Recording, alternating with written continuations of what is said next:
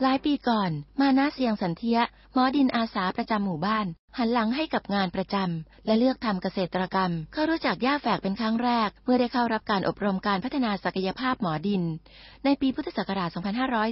2543 เมื่อบ้านโคกพรมได้รับเลือกให้เป็นพื้นที่พัฒนา โครงการเฉลิมพระเกียรติ ตามรอยพระบาท 60 ปี ฟื้นฟูปัตภีไทย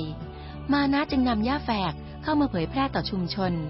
จากนั้นก็ได้เปิดเวทีชาวบ้าน ถ่ายทอดความรู้การปลูก และการใช้ประโยชน์จากหญ้าแฝก พร้อมกันนั้นก็ได้เผยแพร่ผ่านสื่อวิทยุชุมชน กระทั่งหญ้าแฝกที่เคยเป็นเพียงความรู้อยู่ในตำรา กลายเป็นที่รู้จักและยอมรับของคนในชุมชน วันนี้หญ้าแฝกไม่เพียงอย่างรากลึกลงในดินเท่านั้น หากแต่ยังอย่างรากลึกลงในหัวใจของคนบ้านโคกพรม